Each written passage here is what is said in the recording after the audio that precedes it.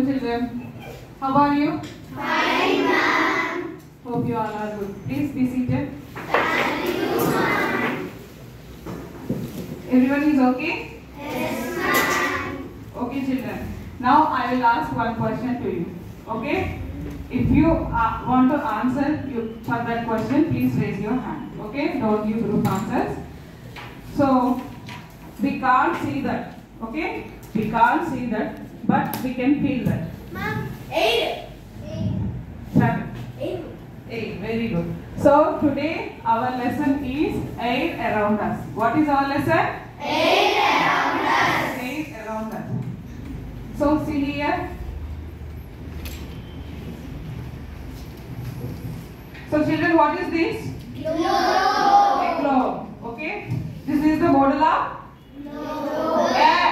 This is the model of So, this air is covered by atmosphere. Okay? Air. Okay? It is covered by air. So, that is called atmosphere. What is that? Atmosphere. So, earth is covered by air. That is called atmosphere. Okay. So, see here. What are these? Balloon. Balloons. Now, I will fill.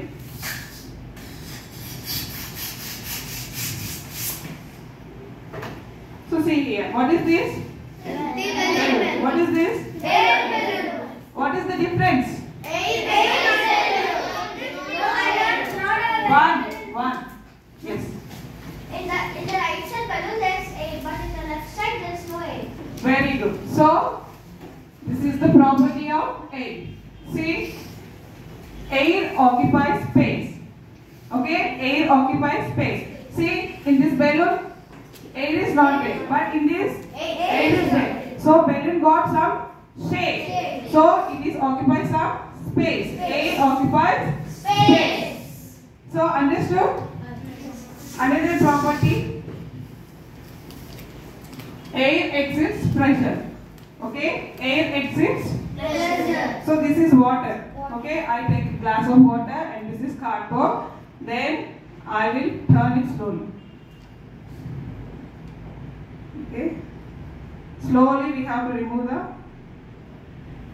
So air exits pressure. Okay, so these are the two properties. First one is air occupies space. Second one, air exits pressure. Okay, sit down. Okay, children, understood?